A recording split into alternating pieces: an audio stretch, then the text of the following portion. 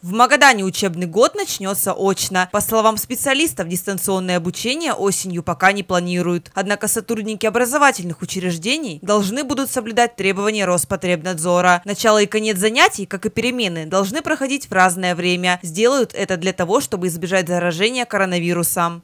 Э, будет максимально делаться все для, для того, чтобы разобщить потоки детей.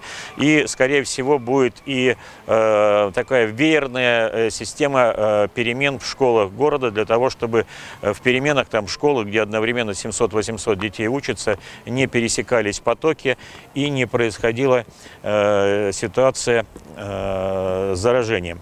Линейки 1 сентября отменены. Не будет также в этом году и традиционного шествия первоклассников в связи с соблюдением эпидемиологических норм. Сейчас в областном центре Колымы активно комплектуют первые классы школ. Более 1100 детей приняты в образовательные учреждения города. По словам специалистов, до конца лета ожидают еще около 200 детей.